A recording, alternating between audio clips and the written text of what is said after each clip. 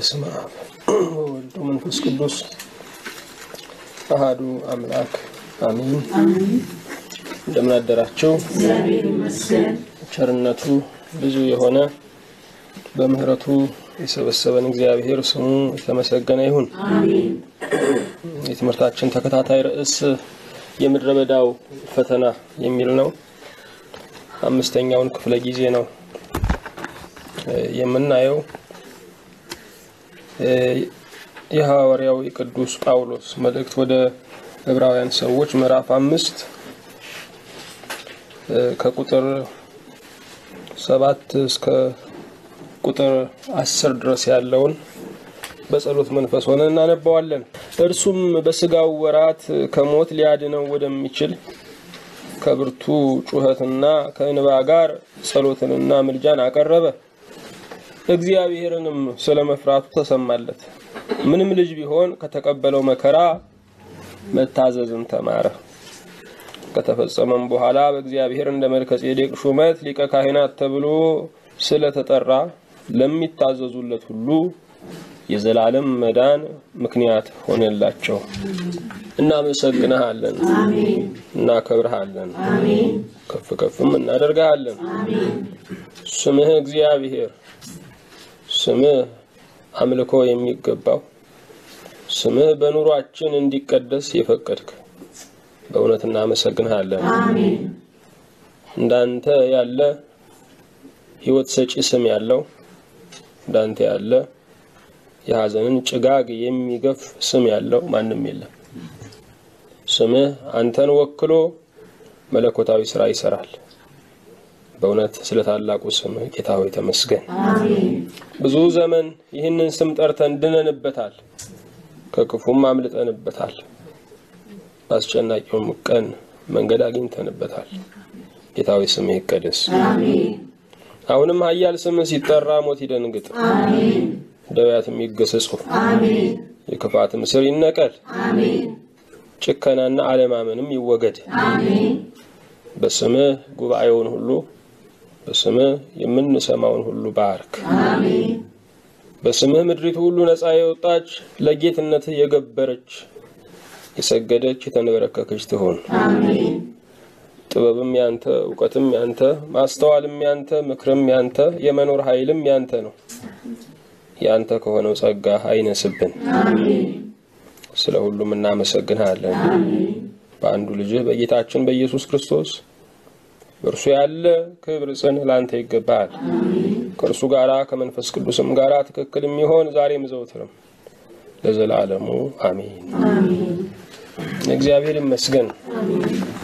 በትላንትና ዕለት እስራኤል ከግብፅ በመውጣታቸው ውስጥ ያለውን አስደናቂ ነገሮች አብረን ለማየት ሞክረናል። እግዚአብሔር ለሕዝቡ የሚዋጋ አምላክ እንደሆነ፣ እግዚአብሔር ሲዋጋ ሁሉ ሰራዊቱ እንደሆነ፣ እግዚአብሔር ሲዋጋ ፍጥረት ሁሉ በአመፀኞች ላይ እንደሚያምፅ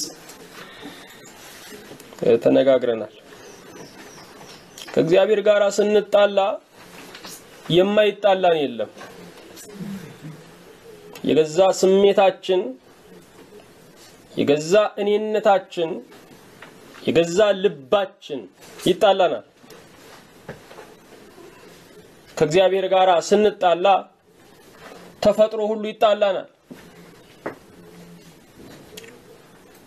ለምህረት የተሰሩ ፍጥረታት ሁሉ የመዓት ዕቃዎች ይሆኑብናል። የመዓት ሰራዊት ይሆኑብናል። ስለዚህ ሰማይና ምድር ውስጣችንና ውጫችን እንዲታረቀን ከእግዚአብሔር ጋር በሰላም መኖር ያስፈልጋል። እግዚአብሔርን ተስፋ ያደረግነው ከሞት በኋላ ላለው ሕይወት ብቻ አይደለም። ያለ እግዚአብሔር የሚኖር አንድ ደቂቃ አንድ ሰከንድ የሰከንድ ሽራፊም የለም። ሲጸልዩ አባቶች በየጊዜውና በየሰዓቱ እናመሰግንሃለን ነው የሚሉት። ስለዚህ ጊዜና ሰዓት የህይወት ዘመናችን ነው። ጊዜና ሰዓት በዛኛው ዓለም የለም። ያኛው ዓለም የጊዜ ድንበር የጊዜ ሰሌዳ የሌለው ሌትና ቀን የማይፈራረቁበት ከእስከ የሌለው ዓለም ነው። ስለዚህ በየጊዜውና በየሰዓቱ የምናመሰግነው ከሆነ በየጊዜውና በየሰዓቱ እግዚአብሔር ለእኛ የሚያደርገው መልካምነት አለው ማለት ነው። አንዳንድ መልካምነቶች የልመናዎቻችን ውጤቶች ናቸው። ትልልቅ መልካምነቶች ግን ሳንለምን የተቀበልናቸው ናቸው። እድሜን ሳንለምን የተቀበልነው፣ ይህንን ብርሃን ሳንለምን የተቀበልነው፣ የምንተነፍሰውን አየር ሳንለምን የተቀበልነው፣ ይህንን ቃል የምንሰማውንም ቃል ሳንለምን የተቀበልነው? ለራሳችን ከተመኘነው እግዚአብሔር የተመኘልን። ለራሳችን አስበን ከጠየቅነው እግዚአብሔር አስቦ የሰጠን ብዙ ነገሮች አሉ። ስለዚህ እያንዳንዱ ሰዓት፣ እያንዳንዱ ጊዜ እግዚአብሔር ለእኛ መልካም የሆነበት ጊዜና ሰዓት ነው። ሕይወት ያለ እግዚአብሔር ጣልቃ ገብነት የሬሳ ሸክም ናት። የጥንት ሮማውያን ምርኮኞቻቸውን ሬሳ አሸክመው ይነዱ ነበረ። ለእግዚአብሔር ካልተማረክን ለጠላት የተማረክንን፣ ለዓለም የተማረክንን፣ ለእኔነታችን የተማረክንን እኔነታችን ዓለም፣ ሰይጣን ደግሞ የሚነዱን ሬሳ አሸክመው ነው። ሕይወት ያለ እግዚአብሔር ጣልቃ ገብነት የሬሳ ሸክም ናት። ከባድነቱ ብቻ አይደለም፣ ዘግናኝም ነው። አንዳንድ ምሬቶችን እንለማመዳቸዋለን። ያለ እግዚአብሔር መኖርን ግን ሊለማመዱት የማይችል የሞት ሸለቆ ነው። ከጣዕም ውጭ የሆኑ ምሬቶችን እንለማመዳለን። ብዙ አደንተኞች መርዝን ይለማመዳሉ። በትንሽ በትንሹ በብዙ የመጣ ቀን ለመቋቋም ያለ እግዚአብሔር መኖር ግን ከመርዝ ልምምድም ከሬት ልምምድም በላይ ከባድ ነው። ከባድ ነው። እግዚአብሔር አለ። እኛ ግን ከእግዚአብሔር ጋር ለመሆን መፍቀድ ያስፈልገናል።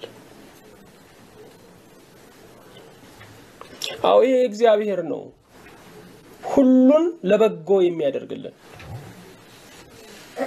ይሄ እግዚአብሔር ነው ከሐዘን ሸለቆ የደስታን ዘይት የሚያፈስልን። ይሄ እግዚአብሔር ነው በጨለማ ላይ ይብራ እያለ በብርሃን አዋጅ ነፃ የሚያወጣን። እግዚአብሔር ይመስገን። እዚሁ ዕብራውያን ምዕራፍ አንድ ቁጥር 14 ላይ ስናነብ ሁሉ መዳንን ይወርሱ ዘንድ ስላላቸው ለማገዝ የሚላኩ የሚያገለግሉ መናፍስት አይደሉምን ይላል ስለ መላእክት። መዳንን ይወርሱ ዘንድ ላላቸው መላእክት ተሹመዋል። ለምንድን ነው ስንል የመዳን ጸጋ የተቀበሉ ሰዎች ኃያል ተዋጊ አለባቸው። ብርቱ ጦረኛ አለባቸው። ድሮ ጦረኛ አልነበረባቸውም። ድሮ ሌባ አልነበረባቸውም። ምክንያቱም ባዶ ናቸው። እንደውም ሌቦቹ ለለማኝ የሚመጸውቱት ከጨዋ በላይ ነው። ሰላሳና አርባ ብር የሚሰጡት ጨዋ ነኝ የሚለው ሀምሳ ሳንቲና አስር ሳንቲ እንዳይጋጭበት በትክክል አይቶ ነው የሚያወጣው። አውጥቶ እንዳያጓጓ ኪሱ ውስጥ ሲቧጭር ነው የሚቆየው። እነኚህ በደንብ አድርገው ነው የሚመጸውቱት። ምንም የሌለውን ሌባም ይወደዋል። ድሮ ፈተና አልነበረብንም፣ ትግል አልነበረብንም፣ ምንም የለንማ፣ ባዶ ነበርን። አሁን ግን በለጸግን፣ መዳንን አገኘን፣ የዘላለም ሕይወት ባለቤቶች ሆንን፣ ልዑላን ሆንን፣ በሰማይ ተሾምን፣ በማያልፍ ዓለም ላይ ርስት አገኘን። ያገኘነው በጣም ትልቅ ነው። እኛ ገና የሚያስጨንቀን እዚህ የምድር ላይ ስላሉ ቤቶች፣ ስለ ፎቆች ነው የምንጨነቀው። ስለተመራነው መሬት ስለምንመራው መሬት ነው የምንጨነቀው። በሰማይ ግን ትልቅ ርስትን ያገኘ ነው ያገኘ ነው። እኛ ከተሰማን በላይ ሰይጣን ያውቀዋል። ስለዚህ ዛሬ ባለጸጎች ስለሆንን ሌባ አለብን፣ አሳዳጅ አለብን። ለዚህ ነው መዳንን ለሚወርሱት ጌታ መላእክትን የመደበው ጠባቂ የመደበው። ልክ ነው። ባንክ ቤቶች በጣም በጥብቅ ይጠበቃሉ። የፈረሱ የድሃ ጎጆዎች ግን እንኳን ዘበኛ አይደለም ጥሩ መወርወሪያም የላቸውም፣ ጥሩ መዝጊያም ጥሩ መቆለፊያም የላቸውም። ምንም የሌለው ሽፍቶች መንደር ሲደርስ ያቅራራል ይባላል። ያለው ግን በጣም ተጠንቅቆ ነው የሚጓዘው። በጣም ተጠንቅቆ ነው የሚጓዘው። ሰላማዊ በሆኑ መንገዶች በለመድናቸው መንገዶች እንኳ እንደለመድ ነው የማንጓዘው ደህና ገንዘብ ኪሳችን ውስጥ ካለ ነው። መገላመጥ እናበዛለን። ያለን ቀን በጣም ጥንቁቅ ነው የምንሆነው። የያዝን ቀን በጣም ጥንቁቅ ነው። ለምን ስንል የያዝን ቀን ያልታሰበ ጠላት ሊመጣ ይችላል። ስለዚህ ፈተናዎቻችን፣ ትግሎቻችን አንድ ነገር እንዳለን አመላካች ናቸው አመላካች ናቸው። በዚህ በገዳማውያኑ ዘንድ የሚባል ነገር አለ። ገዳማውያን ሁል ጊዜም ለጦርነት ዝግጁ ሆነው እንዲኖሩ ነው ትምህርቱ የሚሰጣቸው። በዛ ያለው ትምህርቱ በዛ ያለው የምንኩስናው ድንጋጌ የምንኩስናው ስርዓተ ትምህርት ያለማቋረጥ ስለ ውጊያ ነው የሚናገረው። ታዲያ ምን ይላሉ? ፈተና የሌለበት መነኩሴና አጥር የሌለው ቤት አንድ ነው፣ ሁሉ ይደፍረዋል ይላሉ። እያንዳንዱ መነኩሴ በየቤቱ ሊለጥፎ የሚገባ ጥቅስ ነው። አጥር የሌለውን ቤት አስቡት። ገበያተኛው ከነ ከብቱ ነው የሚያልፍበት። አጥር የሌለው ቤት የውሾች የድመቶች ሁሉ መሰማሪያ ነው። አጥር የሌለው ቤት መንገደኛ ሁሉ የሚያቋርጠው ነው። ሁሉንም የሚደፍረው መከራ ፈተና የሌለው ህይወትም ሁሉ ብልግና ነው የሚደፍረው። ስለዚህ መከራዎቻችን፣ ፈተናዎቻችን እግዚአብሔር በጥበብ በዙሪያችን ያደረጋቸው አጥር ናቸው። በብዙ ሱስ ውስጥ የሚያልፉ ሰዎች በጣም ድህነት የጸናባቸው ሰዎች አይደሉም። ይሄ ብቻ አይደለም። በተለያዩ ወንጀሎች ውስጥ የሚሰማሩ በመላው ዓለም በራሳቸውም ላይ የሚወስኑ ብዙዎቹ በኑሯቸው ምንም ፈተና የሌለባቸው ሁሉም ነገር ሳያስቡት እጃቸው ላይ የመጣላቸው ሰዎች ናቸው። ስለዚህ የሰው ልጆችን ቅርጽ ስንመለከት መከራ ካለብን ከመከራ ለመውጣት እንጸልያለን። መከራ ከሌለብን መከራ እንፈጥራለን። ስለዚህ የሱሰኛው ወንጀለኛው አብዛኛው በላዩ ላይ መከራ የሚፈጥር ነው። ሰው መከራ ከሌለበት ወደ መከራ ነው የሚሄደው። መከራ ሲመጣ ክብር ነው፣ ስንሄድበት ግን ስቃይ ነው። አዎ መከራ ውጫዊ ነገራችንን ውጫዊ ነገራችንን የሚያውክ የሚጎስም ነው። መከራው ውስጣዊ ነጸብራቅ ሲያመጣ ደግሞ ፈተና ነው የሚሆነው። ስሜታዊ ሙግት እሱ ደግሞ ፈተና ይሆናል። ስሜታዊ ፍጭት፣ ስሜታዊ ስብራት እሱ ፈተና ይሆናል። ትላንት ለመነጋገር እንደሞከር ነው የፈተናው የመከራው ዳርቻው ምንድን ነው ስንል ውበት ነው። ግን ልብ አድርጉ፣ ውበት የሚባል ነገር በሙሉ የህመም ሂደትን ያልፋል። ሴቶቹ ፀጉር ቤት ገብተን አናቂ ይሆናል፣ ክልክል ነው፣ ተፈቅዷል። እንዲያሁን አሁን ከባልየው ይልቅ እንዲያቃቸው የሚፈቅዱት ያንን ጠጉር ሰሪ ነው። እንግዲህ ብዙ የሚነሳ ብዙ የሚገጠሙ ህንፃዎች ይኖራሉ ይኖራሉ። እና ያ እንግዲህ የፀጉር ንስሐ አባት ነው። ዝም ብላችሁ ስትመለከቱት በዛ የሚከናወነውን ነገር በዝርዝር ባናቀውም እንኳ ህመም ነው። ይታጠቡና በኃይለኛ ንፋስ ነው የሚመቱት። ልክ ነው አይደለ? አዎ፣ በኃይለኛ ንፋስ። ከዛ በኋላ ከንፋሱ ሲጨርሱ ደግሞ እሳት እየጋለ ያ ጸጉር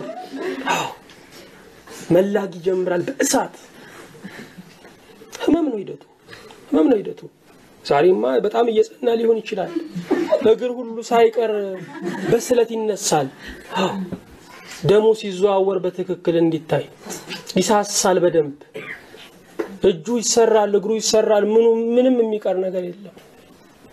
ውበት አድካሚ ብቻ አይደለም። ውበት የህመም ሂደት ነው። ውበት የህመም ውጤት ነው። ለምን እሳት ይነካኛል? ለምን ንፋስ ይነካኛል ካለ ውበት የለም። ስለዚህ ውበት ሁሉ የምን ውጤት ነው? የህመም ውጤት ነው። የህመም ውጤት ነው። ሰዎች ለውበት ከፍለው ይታመማሉ። ይህንን መስቀል አስቡት። ይሄ መስቀል እንደዚህ የጀመረ አይደለም። ይሄ መስቀል እንዲሰራ ትልቅ ዋርካ ወድቋል። ተገዝግዞ ነው የተጣለው። ከዛ በኋላ ደግሞ በየቅርጹ ደግሞ እንደገና ተቆርጧል። ይሄ ብቻ እንደገና ተሰንጥቋል። ብዙ ሂደቶች አሉት። ከዛ በኋላ ደግሞ እያንዳንዱ ቅርጽ እንዲመጣ ደግሞ ተሰርስሯል። ሹል በሆነ ስለታም በሆነ ነገር ሁሉ ተቀርጿል። በማለስለሻ ደግሞ እንደገና በሸካራ ነገር ደግሞ ለስልሷል። በመጨረሻ ደግሞ ቀለሙ ተቀብቶ እንደዚህ ለውበት ይሆናል። ልብ አድርጉ። ይሄ ውበት እንዲመጣ ትልቅነት ቀርቶ ትንሽነት መጣ። ዋርካው ወደቀ። እቺ መስቀል እንድትወጣ ትልቅነት ቀረ፣ ትንሽነት መጣ። ግዙፍነት ቀረ፣ ማነስ መጣ። በስለት ውስጥ፣ በመጥረቢያ ውስጥ፣ በመጋዝ ውስጥ ማለፍ መጣ። በማለስለሻው በሸካራው ውስጥ መታሸት መጣ። መጨረሻው ግን ምንድን ነው? ውበት ነው። የውበት ሂደት ሁሉ ያማል ያማል። ቤት ብትሰሩ በአምቦ ድንጋይ በምን ድንጋይ ጠርዝ ጠርዙን ነው ያው ሙሉን ለማድረግ ውድ ነው። ጠርዝ ጠርዙ ላይ የሚቀመጠውን ድንጋይ እሱን ለማግኘትና ቤታችንን ጌጠኛ ለማድረግ የሚወሰደው ሂደት በሙሉ ህመም ነው። አለቱ ስር ድማሚት ነው የሚቀበረው፣ ይፈነዳል። ከዛ በኋላ ደግሞ እንደገና ይፈለጣል። በየቅርጹ ደግሞ ይቆራረጣል። እንደገና ጥሩ መጥረቢያ ይዘው ደግሞ ሲያንኳኩ ነው የሚውሉት። ያ ቅርጽ እንዲመጣ መጨረሻው ግን ጌጠኛ ቤት ይሆናል። አለት በአለትነቱ ውበት የለውም፣ ቤትም አይሆንም። በጣም በትልቅነታችን፣ በግዙፍነታችን፣ በደርባባ አቡንነታችን እኔ ትልቅ ነኝ የትልቅ ዘር ነኝ በምንለው ማንነታችን ውበት የለም። እግዚአብሔር ለውበት ሲሰራን ትልቅነት ቀርቶ ትንሽነት ይመጣል። ጨዋረድ ይመጣል። መሰደድ ይመጣል። መገፋት ይመጣል። የዚህ ዓለም ጥልቅ ጥያቄዎች መልስ ያገኙት በመከራ ውስጥ ባለፉ ሰዎች እግዚአብሔር በሰጣቸው ምስጢር ነው። አዎ ውበት ሁሉ የምን ሂደትን ያልፋል? የህመም ሂደትን ያልፋል። የህመም ሂደትን ያልፋል ወገኖች። እዚህ አንገት ላይ የሚወጣ እንቅርት አለ።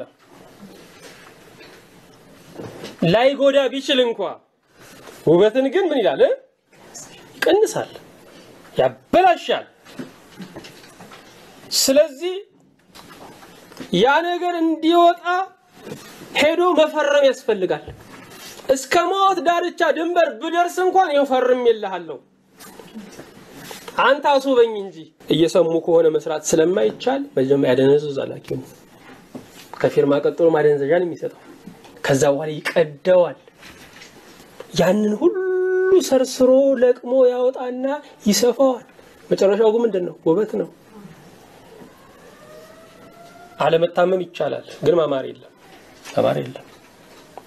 መንፈሳዊ ቁንጅና፣ መንፈሳዊ ውበት፣ መንፈሳዊ ስም የሚመጣው በሚያሙ ነገሮች ውስጥ ስናልፍ ነው። ስለዚህ መከራውና ፈተናው የእግዚአብሔር ቅርጽ ማውጫ ሞልድ ነው። በቅርጽ ማውጫ ውስጥ የቅርጹን መልክ ይዞ ለመውጣት መቅለጥ ያስፈልጋል።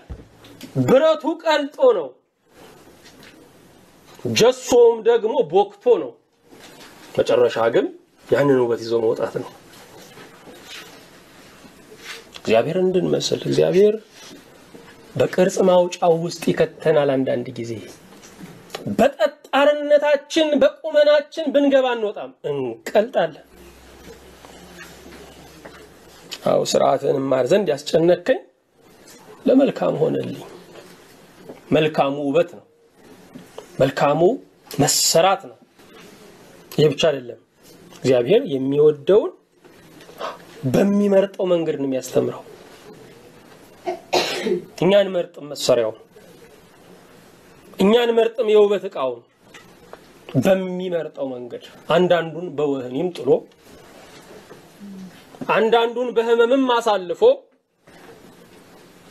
እግዚአብሔር ለውበት ይሰራል። ስሙ የተባረከ ይሁን። ስለዚህ ምንድን ነው ግራ ያጋባን ነገር? ምንድን ነው ግር ያለን ነገር? ውበት ወዶ ህመም ጠልቶ አይሆንም ማለት ነው። ውበት ሁሉ ያማል። ስጋዊ ውበት እንኳ የህመምን ስርዓት የሚያልፍ ከሆነ መንፈሳዊ ውበትማ ስሙ የተባረከ ይሁን። ያነሳነውን ጥቅስ እስቲ እንየውና በቀጥታ ወደ ፈተናው አይነቶች ነው የምንሄደው። የምድረ በዳዊ ፈተና አይነቶች እስራኤል ልጆች ያለፉባቸው የፈተና አይነት እርሱም በስጋ ወራት ከሞት ሊያድነው ወደሚችል ከብርቱ ጩኸትና ከእንባ ጋር ጸሎትንና ምልጃን አቀረበ። በስጋ ወራት በስጋ ወራት ብርቱ ጩኸት፣ እምባ፣ ልመና፣ ምልጃ አቀረበ። በስጋ ወራት አሁን ክርስቶስ ያለው በትንሣኤ አካል ነው። ጩኸትና እምባ አሁን የለም። መስዋዕትነቱ በመስቀል ላይ ስለኛ ያቀረበው ነገር ሁሉ ግን በዕለተ ዓርብ እንደቀረበ ሆኖ ትኩስ ሆኖ ዛሬም ይረዳናል፣ ያድነናል። እርሱም በስጋው ወራት ከሞት ሊያድነው ወደሚችል ከብርቱ ጩኸትና ከእንባ ጋር ጸሎትንና ምልጃን አቀረበ። ጸሎቱ አባቴ ሆይ ይህች ጽዋ ከእኔ ትለፍ የሚል ነው። ምልጃው ደግሞ እነዚህን ጠብቃቸው የሚል ለደቀ መዛሙርቱ የቀረበው ልመና ነው። መከራው የእርሱ ነው፣ ግን መከራው የሚያስደነብራቸው ደግሞ አሉ። እሱ ለተሸከመው መከራ የሚበረግጉ አሉ። ግማሹ ሻጭ ይሆናል፣ ግማሹ ካጅ ይሆናል፣ ግማሹ ወደ ኋላ ተመላሽ ይሆናል፣ ግማሹ ልብሱን ጥሎ የሚሮጥ ይሆናል። አንዳንዴ መከራው የኛ ነው ግን የመከራችን እሳቱ እኛን ሳይገለን ወላፈኑ የሚገላቸው አሉ። ስለዚህ ወላፈኑ እንዳይገላቸው እቶን ውስጥ የሚያልፈው ጌታ ስለነሱ ለመነ። ፈተናዬ ፈተና እንዳይሆንባቸው እርዳቸው ማለት በእውነት ትልቅ ልመና ነው። መከራዬ መከራ እንዳይሆንባቸው፣ ችግሬ ችግር ሆኖ እንዳያሸሻቸው እርዳቸው ብሎ መለመን ትልቅ ነገር ነው። ጌታ ጸሎቱን ያቀረበው ከጩኸት ጋር ከእንባ ጋር ከልመናና ከምልጃ ጋር ነው። ወደ መከራ ስንቃረብ በመከራ ውስጥ ስናልፍ እነኚህ ነገሮች ይገኛሉ። ጩኸት፣ ጸሎት በጩኸት መልክ የሚቀርበው በመከራ ውስጥ ነው። ብዙ ሰዎች ታችሁ ከሆነ ትጸልያለህ ስትሆን ያው መቼም በሰላም ያሳድርከኝ በሰላም ያዋልክ አውለኝ የት ይቀርና ይቀራል መቼም ይሄማ መቼም ልማድ ነው። ብዙ ጊዜ ልማድ ነው። የጸሎት ቦታውም ደግሞ ያው ፊት ሲታጠቡ ነው። እዛ ጋ ነው የሚባለው ልማድ ነው። በመከራ ውስጥ ስናልፍ ግን በዚህ ብቻ እናበቃለን። የት ነው ያለው? እስከ መቼ ጩኸት ነው። ማረኝ ጌታዬ እንላለን። ጩኸት ነው፣ ጩኸት ነው። ስለዚህ ጸሎታችንን ዕጣን የሚያደርገው መከራ ነው። ዕጣን የሚጤሰው በእሳት ነው። ዕጣን በእሳት ካልጨሰ አፈር ነው ወይም ድንጋይ ነው። ምንም ጥቅም የማይሰጥ ነው። ስለዚህ ጸሎቱ በእግዚአብሔር ፊት መዓዛ ያለው እንዲሆን መከራ ብዙ ጊዜ ያግዘዋል። እንባ እንባ እንባም ልክ እንደዚሁ ልክ እንደዚሁ እንባም የመከራ ቀን ጸሎት አጃቢ ነው። እምባ እምባ የስሜት ጋን ሲነካ የሚፈስ ጅረት ነው።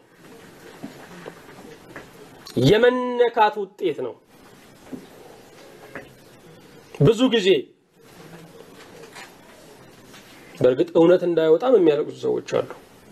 እውነት ብልጭ ልትል ስትል እንባቸው የሚቀድማቸው በቃ በቃ ይቅር ይቅር ይቅር ተብሎ ዝግትግት ፋይል የሚዘጋላቸው የአባይ እንባ ይባላል። ሌባ ውሸታም ብዙ ጊዜ አልቃሽ ነው። በመከራ ውስጥ የሚያልፈው ሰው እንባ እግዚአብሔር በኃይሉ በችሎታው ውቅያኖስን ባህሮችን በእርምጃ ነው የሚሻገረው። አንድ ዘለላ እንባን ግን እግዚአብሔር አይሻገርም። እንባ እግዚአብሔርን ያስቆመዋል። በጣም ደስ ሲለን፣ በጣም ስናዝን እንባ ነው የሚቀናን።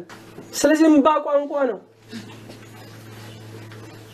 ፊደል የማይገልጻቸውን ነገሮች የሚያብራራው እንባ ነው። የጥልቅ ደስታ የጥልቅ ሐዘን መግለጫ ነው። እንደ እንባ የልብ መልእክተኛ የለም። ሰዎች አዝነው ማልቀስ ሲጀምሩ ቶሎ ቶሎ ነው የምናስቆማቸው። ቢወጣላቸው ግን ጥሩ ነው። ይተነፍሳሉ፣ ይፈወሳሉ። እንባ የእሳተ ገሞራው ማስተንፈሻ ነው። እንባ ራሱ ትኩስ አይደለም፣ ትኩስ ነው። የትኩስ ስሜት መግለጫ ነው። ጸሎትንና ምልጃን አቀረበ ይላል ከጩኸትና ከእንባ ጋር ይልና እግዚአብሔርን ስለ መፍራቱ ተሰማለት። የሚደንቀው ይሄ ነው። የተሰማለት እግዚአብሔርን ስለ መፍራቱ ነው። በኢሳይያስም ተነግሯል። እግዚአብሔርን የመፍራት መንፈስ ያርፍበታል ተብሎ ፈሪሃ እግዚአብሔር ያለው አኗኗር ፈሪሃ እግዚአብሔር ፍርሃተ እግዚአብሔር ወንዝ በቦይ ውስጥ ልክ እንደሚሄደው ቅርጽ ያለው ጉዞ መጓዝ፣ አቋም ያለው ጉዞ መጓዝ፣ በመስመሩ መፍሰስ ፈሪሃ እግዚአብሔር ይሆን። እግዚአብሔር እንደሚያይን ሆነን መኖር፣ እግዚአብሔር ዋጋ ለሚሰጠው ነገር ዋጋ መስጠት። እንደዚህ ነው እግዚአብሔርን የፈራው ክርስቶስ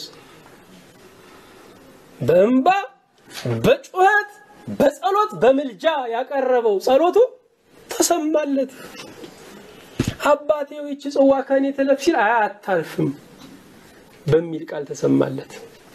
ስለዚህ መሰማቱ ሞቱ መቅረቱ አይደለም፣ ሙት መባሉ ነው። ልጆቻችሁ ይህንን አድርግልኝ አድርግልኝ አድርግልኝ አድርግልኝ ሲሉ አይሆንም እንላለን።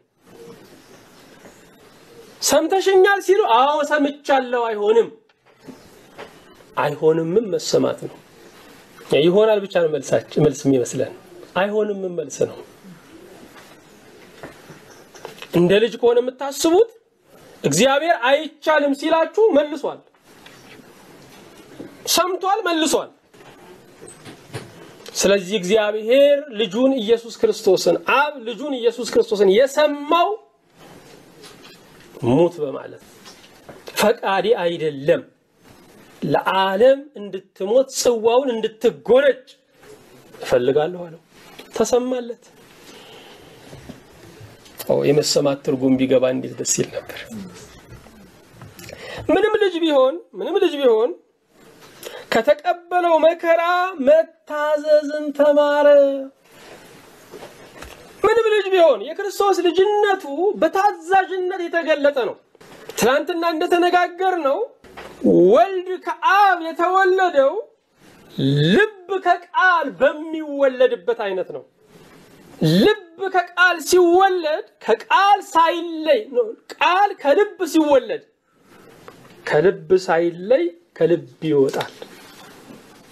ክርስቶስም ከአብ ሳይለይ ከአብ ተወልዷል፣ ከአብ ወጥቷል። ቃል ከልብ ሲወለድ ምንጊዜም የልብ ምንድን ነው? መልእክተኛ ነው፣ ታዛዥ ነው። ስለዚህ ለአባቱ የልብ መልእክተኛ ቃል ሆኖ ያልታዘዘበት ዘመን የለም። በዚች ቀን ግን ታዲያ ምንድን ነው የተማረው መታዘዝ? የተማረው መታዘዝ ምንድን ነው? ዓለምን ፍጠር ሲባል ፈጥሯል። በወልድ ቃልነት ዓለም ተከናውኗል። ልብ አድርጉ። በስላሴ መንግስት ማዘዝና መታዘዝ የክብር መበላለጥ ሳይሆን የፍቅር ድምቀት ነው።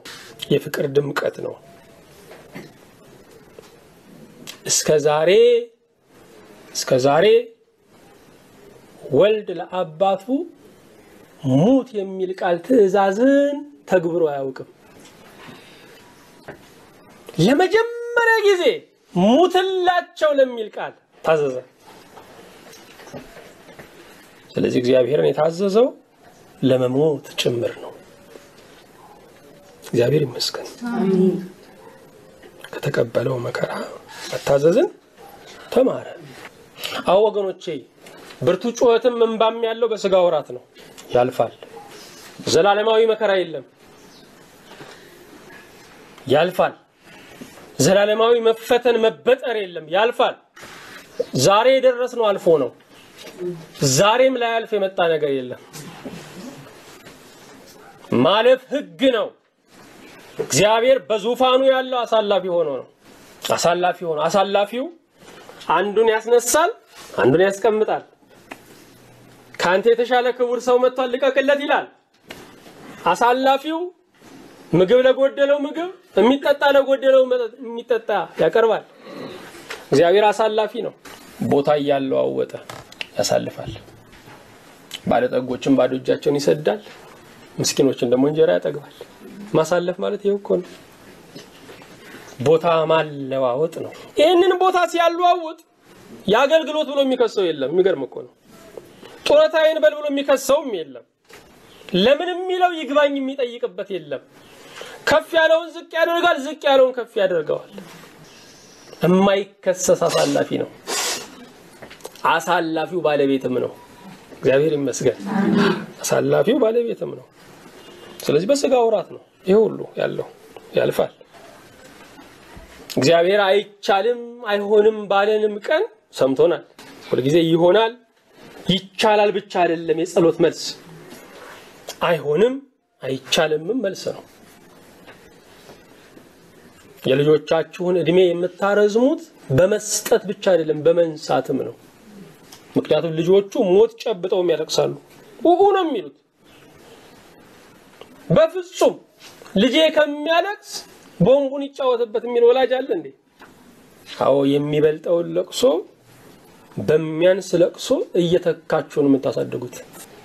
ምናልባት ዛሬ ታማችሁ ከሆነ እግዚአብሔር ሞትን በህመም ቀይሮላችሁ ሊሆን ይችላል። ምናልባት ዛሬ አጣችሁ ከሆነ ሰማይን በምድር ቀይሮላችሁ ሊሆን ይችላል። ሰማይን ከምታጡ ምድርን ብታጡ ይሻላል ብሎ ሊሆን ይችላል። ወደ እኛ የሚመጣው ሁሉ የእግዚአብሔር ምርጥ ነው። እግዚአብሔር ይመስገን። የእግዚአብሔር ምርጥ ነው። እግዚአብሔርን እስከ መኖር ብቻ አይደለም ከጌታ ሕይወት የምንማረው ሙቱልኝ ቢለንም እስከ ሞትም ልንታዘዘው ይገባል። ምክንያቱም መታዘዝ ደረጃ የለውም። መታዘዝ ደረጃ የለውም። እግዚአብሔር ይመስገን። ይህንን ካየን በቀጥታ የእስራኤል ልጆች በምድረ በዳ ላይ የገጠማቸውን ፈተናዎች ነው የምናየው። የእስራኤል ልጆች በምድረ በዳ ላይ የገጠማቸው አስር አይነት ፈተና ነው። አስር አይነት ፈተና ነው የገጠማቸው። የመጀመሪያው የማራ ውሃ ነው። ዘጸአት 15 ቁጥር 22 ጀምሮ። ሁለተኛው የረሃብ ፈተና ነው። ዘጸአት 16 ላይ የምናገኘው ሶስተኛው የውሃ ጥማት ነው። ዘጸአት 17 ከቁጥር አንድ እስከ ሰባት የምናገኘው። አራተኛው የአማሌቅ መገዳደር ነው። የአማሌቅ መገዳደር ነው። ዘጸአት 17 ከቁጥር 8 ጀምሮ። አምስተኛ የመሪው ጫና ነው። ዘጸአት 18 ስድስተኛ የአምልኮ ምንዝርና ነው። ዘጸአት 32 ሰባተኛ መጎምጀት ነው። ዘጸአት ነው ዘሁልቁ 11 ስምንተኛ በወሬ መናጥ ዘሁልቁ 13 ዘጠነኛ በእባብ መነደፍ ዘሁልቁ 21 አስረኛ የበለዓም ሟርት ዘሁልቁ ምዕራፍ 22 ጀምሮ። ተከታታይ ምዕራፎች ናቸው። ፈተናው አስር አይነት ፈተናዎች ናቸው። በህዝብ ደረጃ የመጡትን ነው። ሙሴ በመሪነቱ የተቀበላቸው በጣም የተለያዩ ፈተናዎች አሉ። በጣም የተለያዩ ፈተናዎች እሱን አላነሳንም። ጥቂቶች ያመጧቸው ፈተናዎችም ነበሩ። የተለያዩ ነገዶች፣ ሁለት ሶስት ነገዶች እሱ እሱን አይደለም የምናየው። እንደ አጠቃላይ መላው እስራኤል የመጣባቸው ፈተና አስር አይነት ነው። በፈተናው ውስጥ የመጀመሪያው የፈተናው ባህሪ ማጉረምረም ማጉረምረም ከአንደበት ኃጢአቶች አንዳንዴም ከልብ ኃጢአቶች አንዱ ማጉረምረም ነው። አንዳንዱ በልቡ ያኩተመትማል፣ አንዳንዱ በአፉ ያጉረመርማል። ማጉረምረም ማጉረምረም ድምፅ ባይኖረውም ፊደል ባይዋቀርም ግን ተቃውሞ ነው። ተቃውሞ ነው። አይገባኝም የሚል ስሜት ነው። ማጉረምረም ለፈተና መነሻ ይሆናል። አንዳንድ ጊዜ ማጉረምረም ለፈተና ለመከራ መነሻ ነው የሚሆነው። በዚህ በአስሩ ፈተና ውስጥ ስናይ በአብዛኛው የፈተናው መነሻ ማጉረምረም ነው። ማጉረምረም ከመሬት ተነስተው ያጉረመርማሉ። ደግሞ የሚያጉረመርሙባቸው የታወቁ ሰዎች አሉ፣ የታወቁ አሉ፣ መሪዎች አሉ። የመጀመሪያው የማይታየው እግዚአብሔር ነው። እሱ ላይ ያጉረመርማሉ፣ እግዚአብሔር ግን ይላሉ። መቃብር ጠፍቶ ነው ከግብፅ ያወጣል። እነኛ የግብፅ ባሮች አይመስሉም። እነኛ የግብፅ ድንጋይ ተሸካሚዎች ጡብ ረጋጮች አይመስሉም። እግዚአብሔር አነሰባቸው። ለፈርዖን የተገዙትን ያህል ለእግዚአብሔር መገዛት አልቻሉም። አቶ ነው እግዚአብሔር ያለ እግዚአብሔር ምን እንሆናለን ሳይሆን እግዚአብሔር ያለኛ ምን ይሆናል ወደሚል አስተሳሰብ ነው የገቡት። ኮሩበት። እግዚአብሔር መላእክቱ የወደዳቸው ካልወደደ መኖር እንደማይችል አድርጎ ያፈቀራቸው የሰው ጠረፍ ሆኖ ራሳቸው ተሰማቸው። የልጅ ጠረፍ ሆኖ ራሳቸው ተሰማቸው። ለእግዚአብሔር አንድ ልጅ ሆነው መቅበጥ ጀመሩ። የማይታየው እግዚአብሔርን ደግሞ አላገኝ ሲሉት የሚታየው ሙሴ ላይ ይጀምራሉ። አንተና እግዚአብሔር አንተና እግዚአብሔር ሙሴ የሚታይ ስለነበረ ብዙ ጊዜ ሊወግሩት ሁሉ ተነስተዋል። በጣም የሚደንቅ ነው። ለመውገር ሁሉ ተነስተዋል። ወደኋላ በደንብ እናየዋለን። እያንዳንዱን የሙሴ ነገር ይመለከተናል ባዮች ናቸው። ኢትዮጵያዊቱን ሲያገባ እንኳ እኛ ሳንመርጥ እንዴት ያገባል? መሪው መኖር አይችልም ያለ እነሱ ፈቃድ። መብላት መጠጣት አይችልም ያለ እነሱ ፈቃድ። እነሱ ናቸው ሁሉን የሚመርጡለት። ሰው መመራት ሲያቅተው እንደዚህ ነው። መሪ ለመሆን የሚፈልገው። መመራት ሲያቅተው ሰው መሪ ለመሆን የሚፈልገው። ስለዚህ የምድረ በዳው ጉዞ ማጉረምረም የበዛበት ነበር። ማጉረምረም የበዛበት ነበር። ሰለቸን ይላሉ። መና ሰለቸን። አንዳንድ ጊዜ የምንናገረው ነገር አለ። እኔ እግዚአብሔር እንዳይሰማ እፈራለሁ። ሁል ጊዜ መማር ይኸው እኮ እስራኤል ልክ እንደዚሁ ነው ያሉት። ሁል ጊዜ መማር፣ ሁል ጊዜ መማርማ ሁል ጊዜ መተንፈስ ነው። ሁል ጊዜ ባንማር የምንሆነው እናውቀዋለን። እንዲሁም አላማረብን ወገኖች። በየዕለቱ ነበር መና የሚወርደው። በየዕለቱ እግዚአብሔር ቃሉን ይልካል።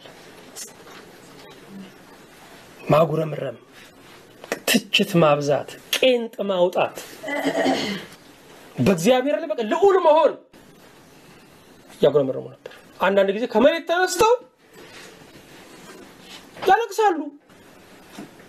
እንዴት ብዬ ልግለጽላችሁ? ገና ይሄ ብቅ ብቅ የሚሉ ጎረምሶች ነው የሚባለው አለ አይደለ? የሆነ ልውጥውጥ የሚያደርጋቸው ሴቶችም ልክ እንደዚሁ አለ። የሆነ ወቅት ላይ አለ፣ ብቻ የሆነ ወቅት አለ። ወዲያውኑ ድፍርስ ምንስ የሚባልበት በቃ ደግ ሲነገር ክፉ ምላሽ የሚሰጥበት ቃል ማውጣት ቀቱ በትከሻ ልክ እግዚአብሔር ላይ እንደዚህ ነው የሆኑት።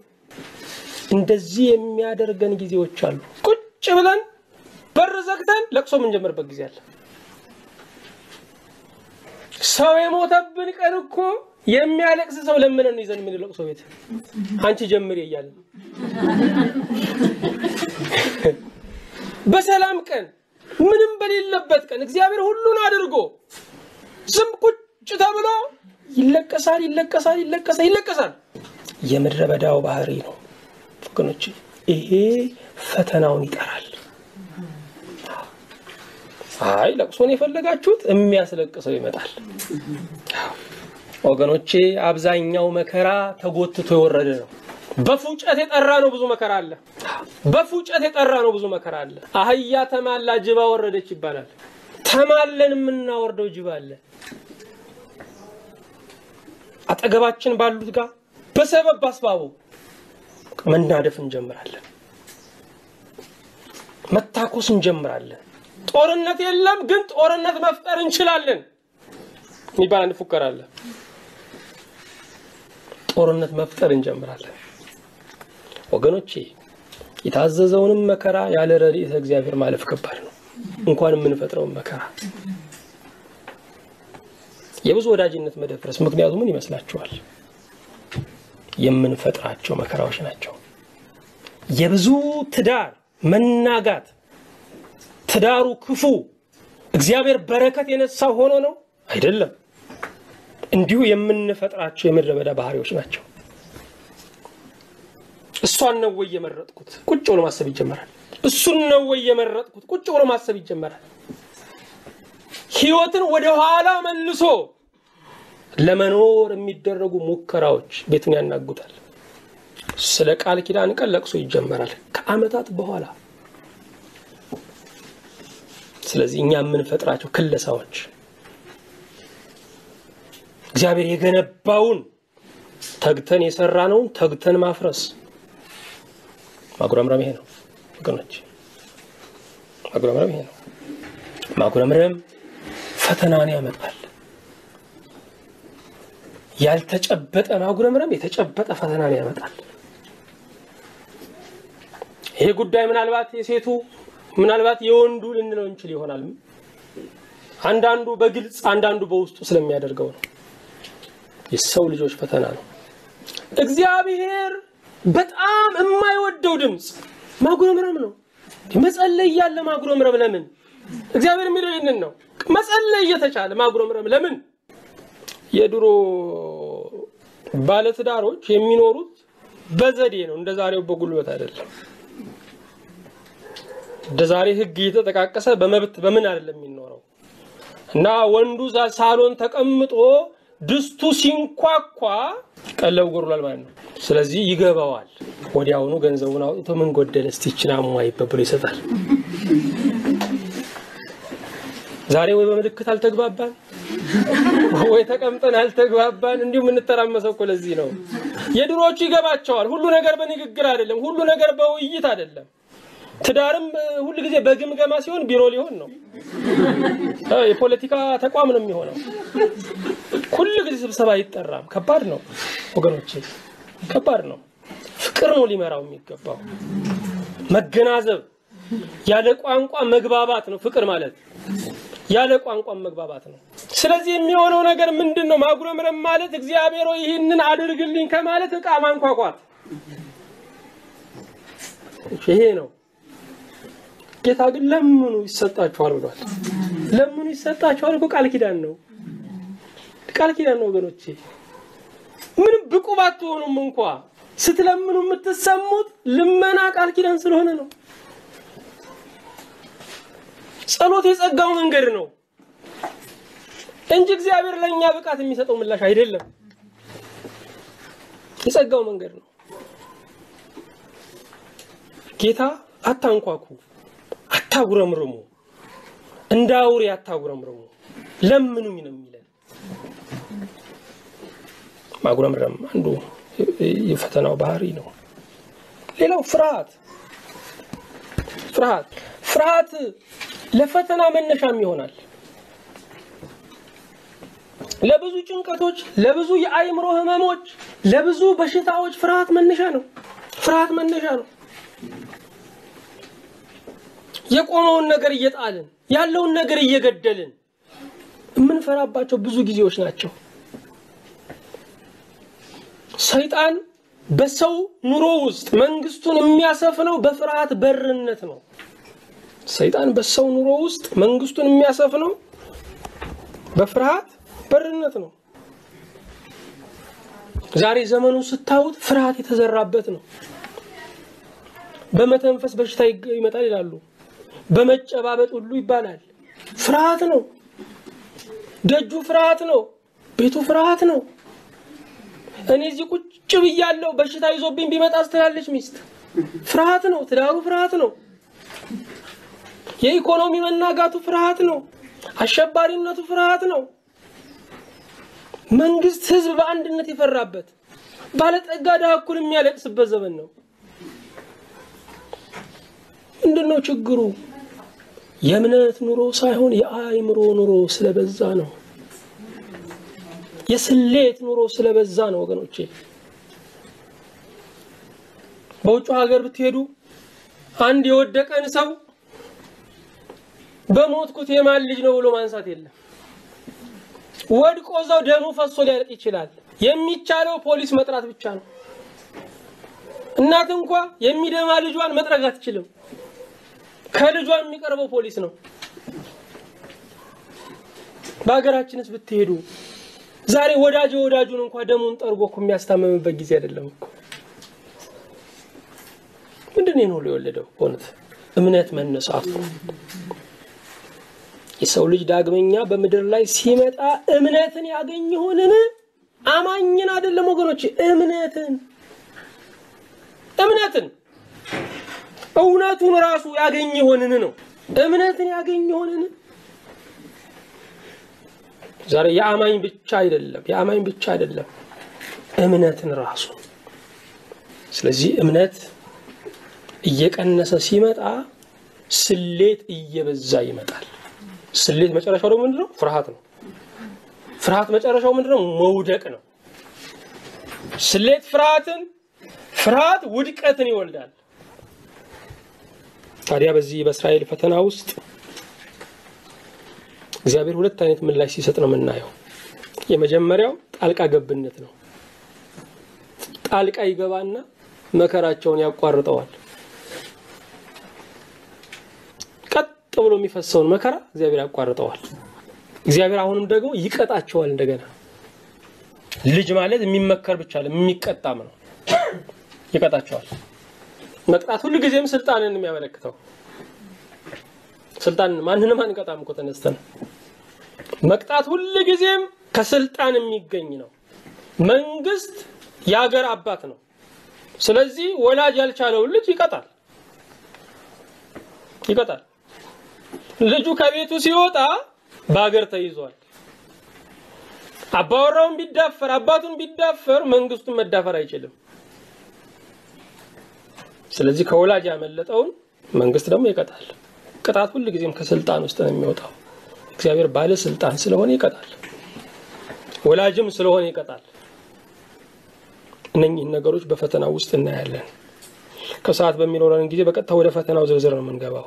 የመጀመሪያው የፈተናው ዝርዝር የማራው ውሃ ነው።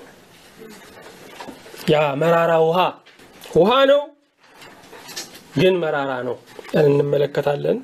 በእውነት በሕይወታችን ያሉትን ማጉረምረምን በሕይወታችን ያለውን ፍርሃትን እግዚአብሔር እንዲያስጥለን መጸለይ ያስፈልጋል። መጸለይ ያስፈልጋል። ሁል ጊዜ ነቃሽ መሆን ጥሩ አይደለም፣ ጥሩ ባህሪ አይደለም ወገኖች። ሁል ስህተት ፈላጊነት ሁል ጊዜ ስህተት ፈላጊነት ከሚያምረው ብዙ ውስጥ የማታምረው አንዷን እየነቀሱ ማውጣት ጥሩ አይደለም ወገኖች።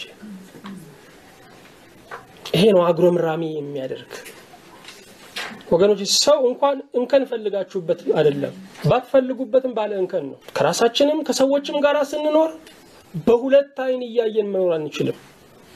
አንዱ ስህተት ሲያይ አንዱ መጨፈን አለበት። በሁለት ጆሮ እየሰሙ ከማንም ጋር አይኖርም። አንዱ ሲሰማ አንዱ ማፍሰስ አለበት። ከእግዚአብሔርም ሁል ጊዜ እንከን ፈላጊዎች መሆን የለብንም። ያደረገልን ብዙ ነው። ሊያደርግልን ተስፋ የሰጠንም ብዙ ነው። ባያደርግልንም እግዚአብሔር ትክክል ነው። ሕፃን ልጅ ነው በሰው ንብረት የሚያለቅስ ይገባቸዋል ስላለን እንጂ እኮ ይገባኛል የምንለው ነገር የለንም። ባይሰጠንም ትክክል ነው። ያለንን ነገር ቢወስድብንም ያስቀመጠውን የወሰደው እንጂ እኛን አይደለም። እግዚአብሔር ሁልጊዜ ትክክል ነው። እግዚአብሔር ምስጋናን ያብዛልን። ልዑል አምላክ ይባርካቸው።